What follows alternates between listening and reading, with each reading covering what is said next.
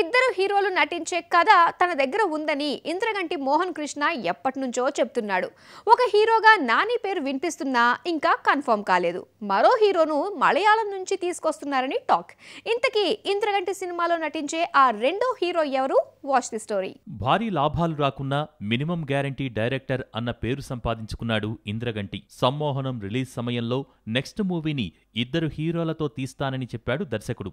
కథ రెడీగా ఉన్నా ఇద్దరు హీరోల కోసం వెతుకుతున్నాడు. నాని ఒక హీరోగా నటిస్తారని సమాచారం. అష్టాచెమ్మాతో నానిని హీరోగా పరిచయం చేసిన ఇంద్రగంటి ఆ తర్వాత జెంటిల్మెన్ తీశాడు. హ్యాట్రిక్ హిట్ కోసం ఇద్దరు వెయిట్ చేస్తున్నారు. ఇంద్రగంటి సినిమాను దిల్ రాజు నిర్మించనున్నాడు. మరో హీరోగా దుల్హర్ సల్మాన్ పేరు వినిపిస్తోంది. ఓకే బంగారంతో ఓకే అనిపించుకున్న సల్మాన్ మహానటితో తెలుగులో క్రేజ్ తెచ్చుకున్నాడు. వరుస సినిమాలతో బిజీగా ఉన్న దుల్హర్ సల్మాన్ను ఒప్పించే బాధ్యత దిల్ రాజు తీసుకున్నాడట. దుల్హర్ సల్మాన్ను ఒప్పిస్తే బిజినెస్ పెరుగుతుందని తెలుగుతో పాటు తమిళం మలయాళంలోకి డబ్ చేసే అవకాశం ఉంటుంది. ఇంద్రగంటి స్టైల్కు విరుద్ధంగా బడ్జెట్ కాస్త ఎక్కువైనా భారం కాదు. అందుకే దుల్హర్ సల్మాన్ అయితే బాగుంటుందన్న ఆలోచనలో చిత్ర యూనిట్ ఉంది.